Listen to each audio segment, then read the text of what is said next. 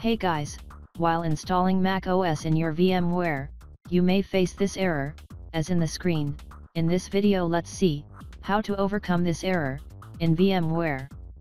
First, let's shut down the virtual machine. Done, now click, Edit the virtual machine settings, in the Hardware tab just move over to the USB controller section, and click the Show All USB Input Devices checkbox, and click OK to save. OK, now power on the virtual machine.